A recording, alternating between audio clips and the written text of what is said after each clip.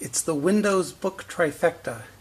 Three books on preserving old windows. Save America's Windows by John Leeke. It's strong on step by step woodwork repairs, painting, and glazing. And the Window Sash Bible by Steve Jordan.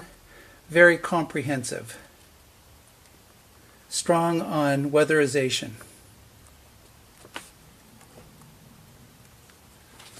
And the window preservation standards. If you don't have time to learn how to do it, the standards will tell you what to do and help you supervise others doing the work.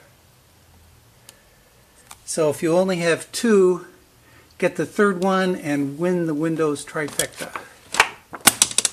Then get on the stick and start fixing some windows.